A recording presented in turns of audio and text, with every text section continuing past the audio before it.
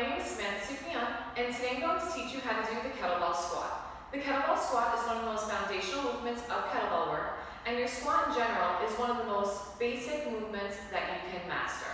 Mastering the squat will allow you to develop profound strength and really allow you to move more efficiently in everyday life. So what you're going to do is start with your feet about shoulder width or a little wider to start. Then from here, you're going to hinge your hips, grab that kettlebell, and swing it on up into this racked position. So from here, you really want to create as much tension as possible. Kettlebell work is all about creating as much tension with your body. So you're going to really bring your lats and shoulder blades all the way down to pack into your lats.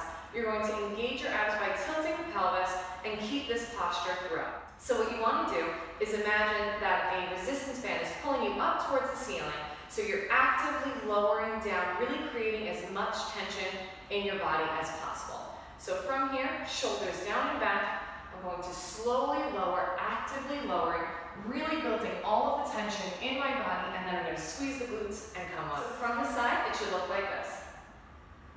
Keeping the shoulders down and the abs engaged, really try to lower as much as you can, getting that hip range without breaking the form at all. So when you're doing your squat, you want to watch out for a few pointers that might indicate that the form is a little off. A good indication is the shoulders falling forward. That will definitely tell you that your lats are not engaged and the stability in the scapula is falling apart a little bit. You want to watch out for that your back isn't arching.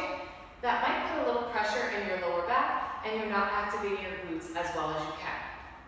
Then you also want to watch out for that your knees aren't buckling over and your heels aren't lifting. As well as from the front, that your knees aren't knocking forward.